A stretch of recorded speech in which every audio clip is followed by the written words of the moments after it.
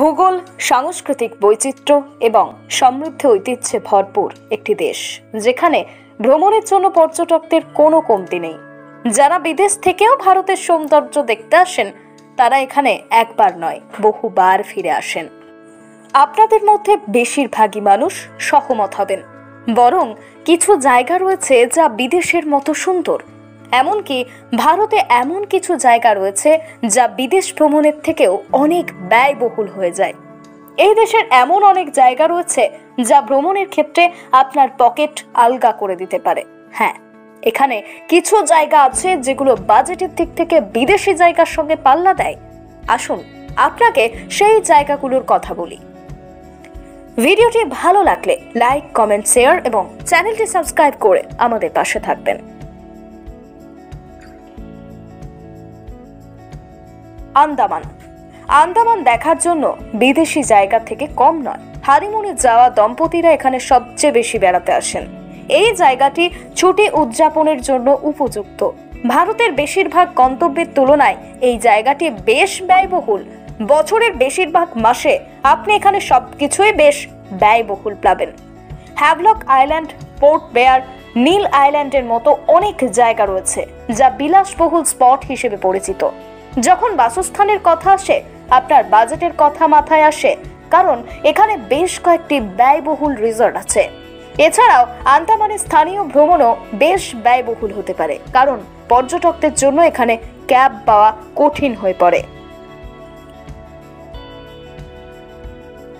উদয়পুর উদয়পুর, জাঁকজমকপূর্ণ প্রাসাদ। রাজকীয়তার কারণেও কম দামি নয়। এখানকার রাজকীয় স্টাইল মানুষকে পাগল করে। কিন্তু যাতায়াত ও বসবাসের খরচ এতটাই যে মানুষের পকেট অর্ধেক খালি হয়ে যায়।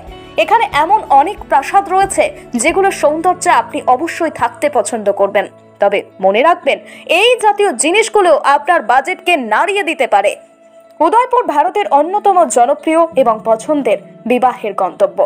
অবেরব উদয় বিলাস তাজ প্যালেস, ললিত লক্ষ্মী বিলাস প্রাসাদের মতো অনেক বিলাসবহুল সম্পত্তি রয়েছে, যেখানে আপনি বিলাসবহুল ছুটি উদযাপন করতে পারেন। দক্ষিণ গোয়া। এখন যখন ব্যয়বহুল জায়গায় ভ্রমণের কথা আসে, আমরা কীভাবে গোয়াকে ভুলে যেতে পারি? চার দিনের জন্য কিংবা কুড়ি থেকে তিরিশ হাজার টাকাও খরচ হতে পারে একজন ব্যক্তির। তবে এখনও আপনি অন্যান্য জায়গার তুলনায় গোয়াতে বাজেট ফ্রেন্ডলি ভ্রমণ করতে পারেন। তবে যারা বিলাসবহুল জায়গায় বাস করতে পছন্দ করেন, তাদের জন্য গোয়ারও অনেক কিছু রয়েছে। দক্ষিণ গোয়ায় অনেক বিলাসবহুল রিসর্ট রয়েছে, যেখানে হানিমুনে দম্পতিরা সময় কাটান। নিরিবিলি পরিবেশ এবং কম জনাকীর্ণ সৈকতের কারণে দক্ষিণ গোয়ার রিসর্টগুলি তাদের জন্য সেরা, যা কেবল শান্তির ছুটির জন্য খুঁজছেন। জুড়ে wet sands resort and casino Nila Goa এবং রামদা ক্যারাভেলা বিচ রিসর্ট হলো কিছু সেরা বিকল্প যেখানে আপনি থাকতে পারেন। কাশ্মীর কাশ্মীর ভারতের অন্যতম জনপ্রিয় হানিমুন গন্তব্য। প্রসঙ্গত, আর্থের স্বর্গ নামক এই জায়গায় ঘুরতে কে না চাইবে? তবে কাশ্মীর অন্যান্য জায়গার মতোই ব্যয়বহুল। এখানে অনেক দুর্দান্ত বিলাসবহুল রিসর্ট রয়েছে, যেগুলির কক্ষগুলি থেকে একেবারে স্বর্গীয় আভাস দেয়। এখানে অনেক কার্যক্রমও করা হয়, যা আপনার খরচ আরও বাড়িয়ে দিতে পারে।